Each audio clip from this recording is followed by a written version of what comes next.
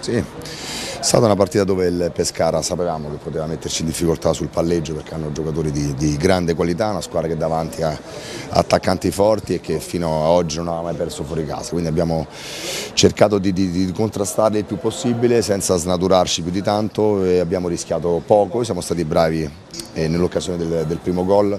e siamo stati altrettanto bravi a, nel secondo tempo a, chiudersi, a chiuderci, loro hanno provato ad attaccare e di conseguenza attaccando in tanti uomini rischi poi le, di subire ripartenze come, come abbiamo fatto nell'occasione del secondo e del terzo gol, quindi è stata una partita dove il Pescara ha tenuto il panino del, del gioco, il Pescara a livello di, di, palleggio è stato superiore a noi, noi siamo stati alla fine superiori non solo nel risultato ma a livello di, di, di conclusioni, faccio comunque i complimenti al Pescara che, che è venuta qua a giocarsi la partita e a non snaturarsi e hanno fatto, hanno fatto comunque un'ottima gara. Stellone, questa sera si sono affrontate al Barbera le prime due della classifica, il Palermo in testa secondo pronostico, il Pescara un po' meno, secondo lei, lei che tra l'altro a Pescara è di casa, questa squadra potrà eh, recitare un ruolo di primo piano, parlo del Pescara ovviamente fino al termine della stagione? Ma io penso che hanno tutte le carte in regola per, per arrivare fino in fondo perché hanno giocatori di qualità, hanno un ottimo allenatore che ha, che ha già ottenuto grandi risultati nella sua carriera, ha vinto campionati, la società è una società eh, seria, sana e penso che il Pescara si giochi fino alla fine insomma, le, le,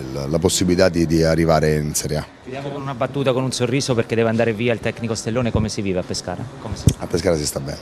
bene. Un'ultimissima battuta, è stato vicino in passato, in un passato molto recente, a, a, ad arrivare sulla panchina del Pescara, si era fatto il suo nome eh, lo scorso anno e anche due anni fa? No ma... Mm, sì o no? No, no, dico sì, sì l'anno scorso tante, tante, squadre prima di arrivare a Palermo mi avevano cercato, io ho avuto poi la possibilità di andare a Palermo e sono felicissimo della, della scelta che ho fatto. Il Pescara ha un ottimo allenatore adesso, io sono a Palermo e,